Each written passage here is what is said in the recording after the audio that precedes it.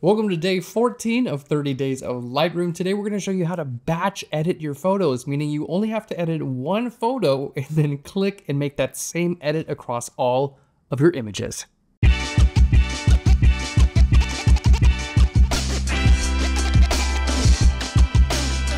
Hello and welcome back to our series where we teach you literally everything you need to know about Lightroom in 30 days. I am so excited for today. We're talking about batch editing, and this is a fundamental part of what makes Lightroom Classic amazing. And here's the deal. If you go out and you take a bunch of different pictures, you put them all on your computer, and then you're like, oh, these are all a little bit too dark.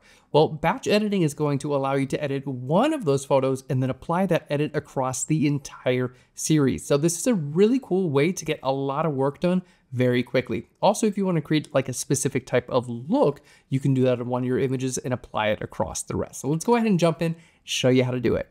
So here we are. I love this series of photos. You can download these. They're JPEGs. You can download them. Just follow the link right down below so you can follow along. We have like a camping group here. It's really, really cool.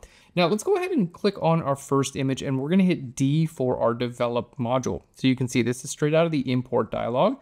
And let's go ahead and reset to make sure we have no edits. Now, first thing I want to do, let's go to our basic editor and we can click here on auto. There we go. So we just have a nice auto edit. Let's see, it made our highlights a little bit darker. It made our shadows a little bit brighter and give us a little bit of vibrance and saturation. I think that's looking pretty good. Now, I have a couple ideas of what I want to do with this image. So first thing is let's go ahead here to our masking. Let's click there and we're going to go to where it says people and check this out. I can just go to all people. It's going to find all the people in my photograph. Okay, we're going to click entire person and I'm going to click on create mask. So I've created a mask that's basically selecting all the people in the image. And then now what I can do is maybe I want to bring up our exposure just a tiny bit and I want to bring up our shadow level just a tiny bit, just to make the people a little bit brighter, help them stand out from the background. You can see not a huge change, but a nice before and after. Okay, this is looking really good. So let's go ahead. We're going to get out of our mask simply by clicking right here on our masks. And then we're going to go back to our library module. So you can hit G to get back to your library module. Or if you have this little thing, uh, this bar visible, by the way, you can click on this little arrow to hide or show this top bar. We can click here on library. Okay, so you can see I've edited this one photograph. It's a little bit brighter. It's a little bit more saturated. My subjects are standing out. Looks really good. So what do we do if we want to apply that same edit to everything? Well, simply click on the first image that you want to select. This is going to be your main image, and then hold shift and then click on the rest. Now, what you're going to notice is our main image, you can see the background here is a little bit brighter than all the other ones. So this is indicating that this is our main image, okay? And these are all secondary images. So it's going to sync all of these images to the main image. Fantastic. Now, you can do this as many times as you'd like. You can go back and forth, and you could make this your main image and then select all the other ones too. So there's no like right or wrong way to do this. You can change your mind at any time. Okay, so this looks pretty good. Now, let's go ahead. We've got everything selected. I'm in the library module. This is really important, okay? And we're gonna go right down here to where it says sync settings. So let's click on sync settings. Now, this is super cool because here we can actually decide what we would like to synchronize. And some of the time, maybe you just want to synchronize uh, some color grading or like one or two things. But in this case, I want to go ahead and take all of the adjustments that I made to this first image and I want to apply them to everything. So I'm okay clicking on check all. Now, you'll notice really the only thing that's not checked is our masking, okay? So let's go ahead and make sure we check the masking. And remember, this is the mask where we selected all the people in our image and we made them a little bit brighter, okay? So in this case, I could just click check all and it would make sure it's going to synchronize everything. So let's click here on synchronize and see what it does, okay?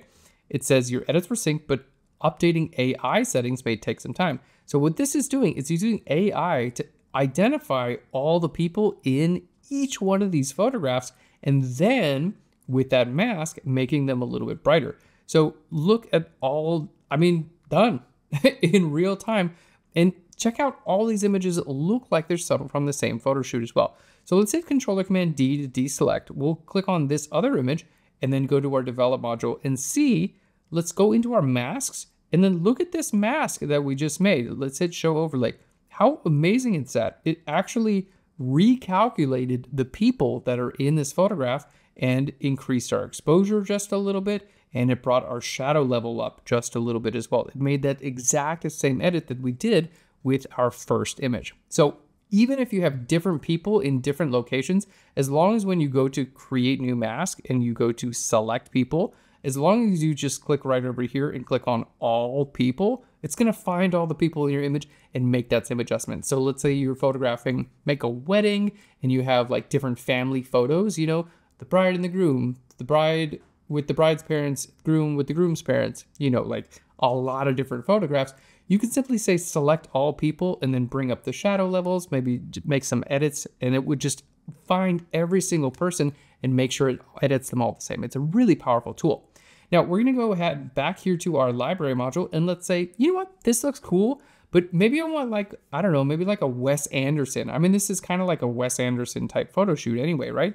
So maybe I want these to feel a little bit more like Wes Anderson, which is a really cool director. He tends to use really beautiful colors and a lot of time it's subtle. So I'm gonna kind of lower my contrast and give it a different look.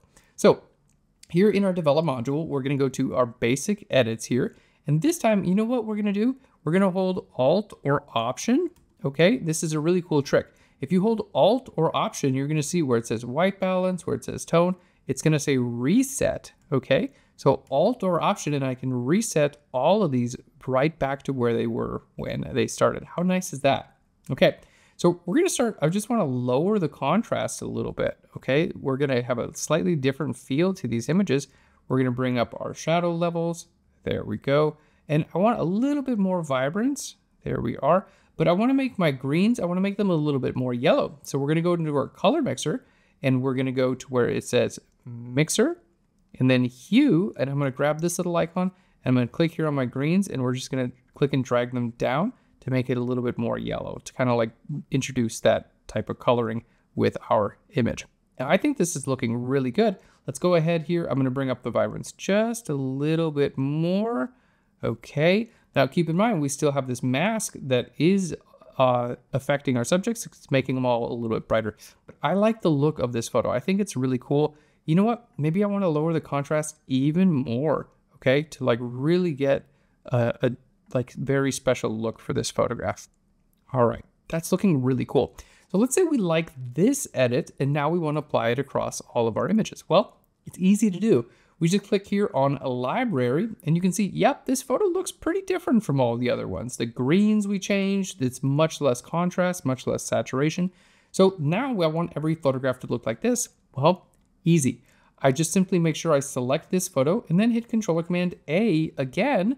And you can see now this photo is lighter than the other photo. So again, it's letting us know that this photo is now our reference photo and it's going to affect all of the other ones. So you can see we started off with this being our reference photo for our first edit.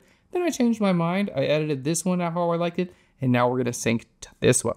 So again, all I have to do, sync click right here on, oh, if you have a thumbnail, by the way, if you're, if you have your film strip, it just brings that right up to sync settings. But I'm gonna go ahead and click here to minimize this and my sync settings is gonna be on the bottom right.